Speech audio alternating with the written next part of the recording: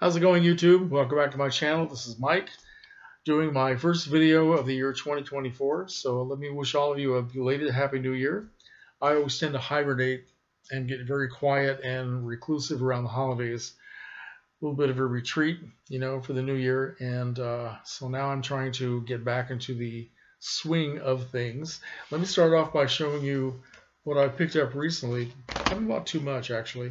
Uh, I got a nice little package from creepyclassics.com and two of these Blu-ray packages are double features and they're all upgrades. So the double dipping continues into the new year.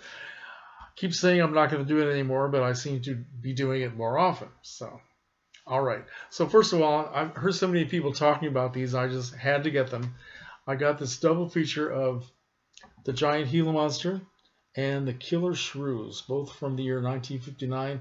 These were released on a double uh, double feature back during the day. I think they were they probably started out at drive-ins. I'm not sure, but I, I have DVD copies of these. Actually, two of the Giant Gila Monster, and so I thought I would get this. Lo they're loaded with extra features, interviews, commentaries. Uh, we have a nice little booklet. Okay, and um, Anyway, I haven't watched The Killer Shrews as yet, but I did watch part of The Giant Gila Monster, and it looks really good. So uh, it's amazing what they can do with these lower than low budget films, which these these are these are cool to watch, but they're certainly not high quality science fiction slash horror movies. But yeah, loads of fun. All right. So the other upgrade is The Terror from Roger Corman, starring Boris Karloff and Jack Nicholson uh, double featured with the Little Shop, Little Shop of Horrors from 1960, another Roger Corman classic. And uh, I had not seen The Little Shop of Horrors for a very long time. And I watched it the other night, laughed my ass off. I had forgotten just how funny this movie is. And it looks great. In fact, both of the films look really good. I, there have been so many bad copies of the Terror floating around forever, way back since the VHS days, and I've ne I never saw it in the theater, so I never saw it in really good condition. This is the best I've ever seen it. Uh, the colors come out beautifully, and um, yeah. So let's see. Nice little booklet with uh, good artwork. Starts out with an article about Boris Karloff. So, um, yeah. But I have to admit, I, I just had a great time watching The Little Shop of Horrors.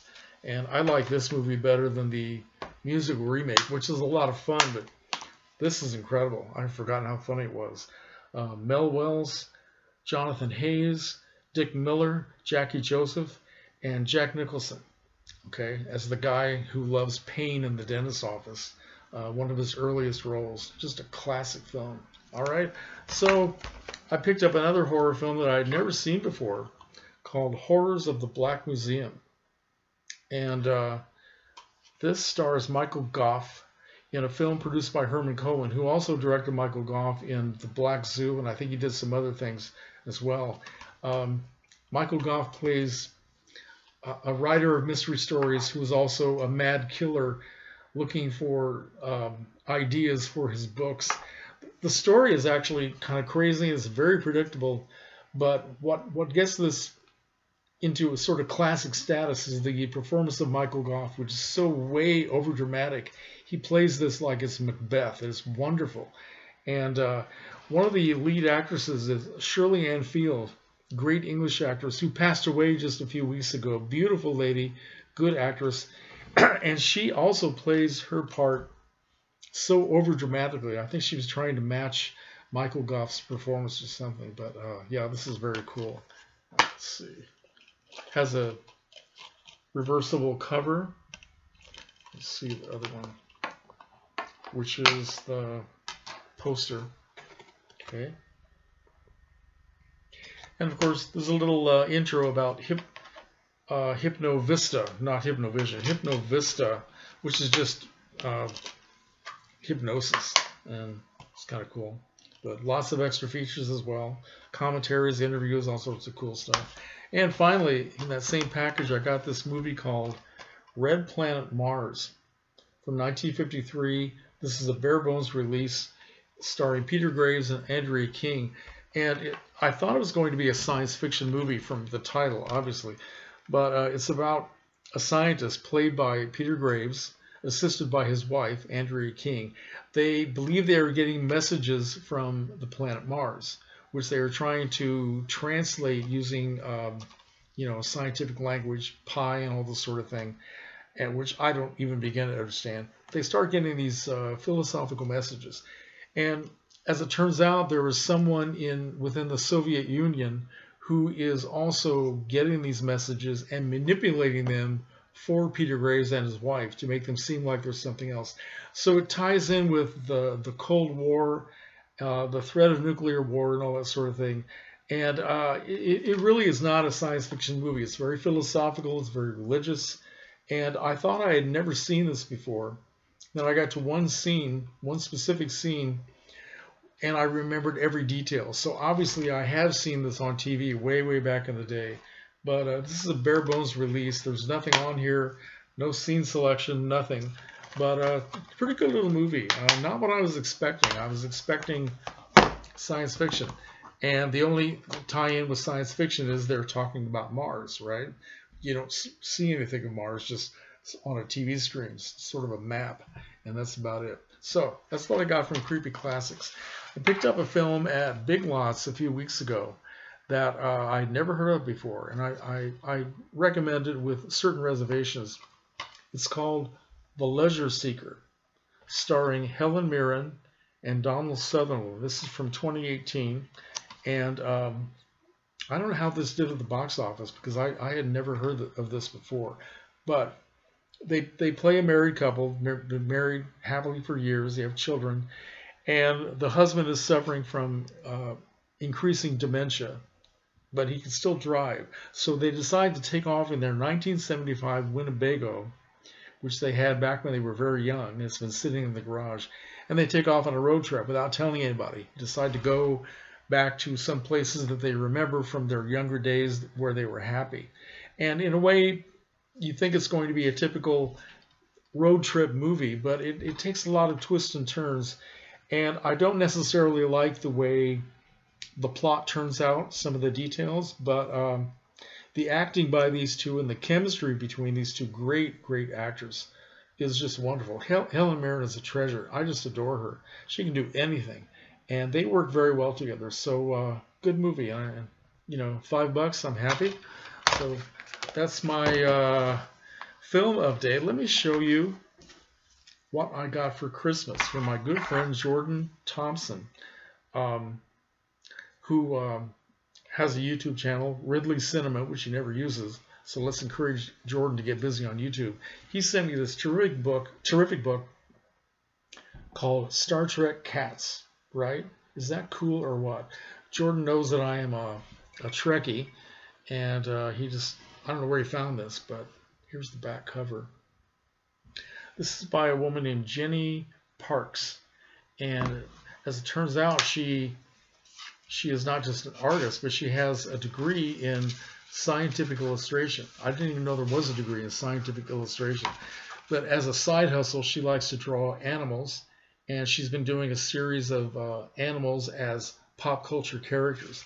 So she does all this with the Star Trek original series cast, right? Each one of them disguised as a cat.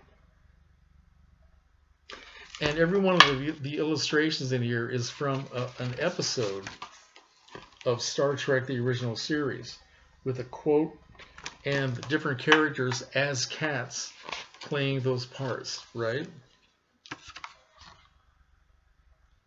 The artwork is just absolutely terrific. Here is Kirk and Spock, or here are Kirk and Spock, doing the chess game. Remember that? Which is really... oh, and here is uh, Uhura and Spock, where she's singing to him, remember? So, uh, yeah. And see, there's one here I wanted to show you. Okay, here's here's Dr. McCoy. He's dead, Jim. So, this is the coolest thing I've ever seen. I didn't even know this existed until I got it in the mail from Jordan. So thank you very much, Jordan. Uh, very creative idea for a gift, and I appreciate it.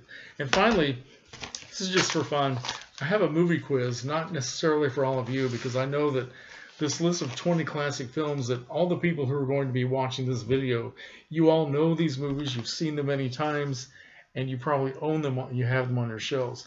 I, I made this list for my sister, who is three years older than me, that means she's 75, and her uh, adult daughter, who was in her mid 40s, and her uh, her husband, who was also in the mid 40s.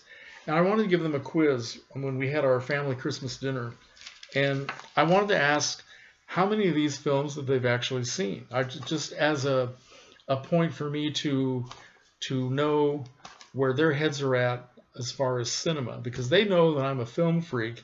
They've seen my movie room, and their their reaction is usually, oh my God. And uh, I just wanted to know what they, well, how it worked out. So here's the list. So Citizen Kane, Casablanca, Dark Victory, Vertigo, Eight and a Half, Frankenstein, the original, uh, Dracula, the original, The Maltese Falcon, The Best Years of Our Lives, 1946, This Gun for Hire, 1942, The Big Sleep, 1946, the Lost Weekend, 1945. To Have and Have Not, 1945. Uh, Notorious, which I didn't write the date down, was what, 1947? Psycho, 1960. A Star is Born, 1954, the Judy Garland version. Whatever Happened to Baby Jane. The Innocents, 1961. Out of the Past, 1947. And I put in one silent film, which also has Chaplin, uh, The Great Dictator from 1940. So I wanted to know how many of them they've seen and you can probably guess the results. My my niece and nephew, well, my niece and her husband, have um, heard of a lot of these films, but the only one they know they have seen is Psycho. And I, I guess I wasn't terribly surprised, but a little bit disappointed, I guess. They hadn't seen more of these. And my sister, I know she's seen a few of these because I've, I, I was actually in the theater with her on the same day in 1961, we both saw The Innocents with Deborah Kerr. And I'm sure she's seen a few of these on TV, like A Star is Born, but uh, she didn't know that much about these. And the reason I wanted to ask them, because all three of them are, are college educated, they all have all have degrees, which I do not have. I just have two years of college. And I always thought that people, when they were in college, they they explored the cinema and they they had a curiosity about foreign films and obscure movies and and because when I moved here to Champaign-Urbana, Illinois, where we have the University of Illinois, I was only 22 years old and I was hanging out on campus all the time and they had all these film societies where you could see classic films and foreign films every weekend and that's how I got to see a lot of these things. The first time I saw Eight and a Half was in a classroom uh, at the University of Illinois. So I assumed that most college kids were curious about the cinema. And I guess I was wrong. So in a way, I'm disappointed and uh, I kind of give up, you know, thinking that younger people are going to just um, seek all this stuff out. But maybe I'm wrong. Maybe there's still hope. Anyway, that's my movie quiz. So how many of these have you seen, right? Come on, guys, tell me. Um, anyway, that's my first video. Uh, already kept you too long. Thank you for watching, and I hope to uh, get busy in the new year and be around a little bit more. Uh, comments are welcome. Take care, folks.